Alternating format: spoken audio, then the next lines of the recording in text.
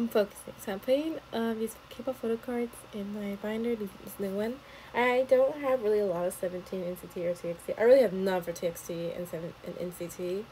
I just started collecting 17 because I actually started liking 17 a lot. But BTS is like my old boy band since 2017. So of course, you know, I, I had to put, I had to put, I have a lot of them. A lot of them I had bought separately had bought them because I don't have the album or I bought an album that didn't have no inclusion of photo cards in them whatsoever. So fill them up. There you go. Later I'm gonna show my butter Jimin one, like the deco frame I did, like I'm pulling out, as you can see. That's him. And there's a Namjoon one that I have it that's a book. It's not Namjoon. I know it's quite fast how I'm doing it.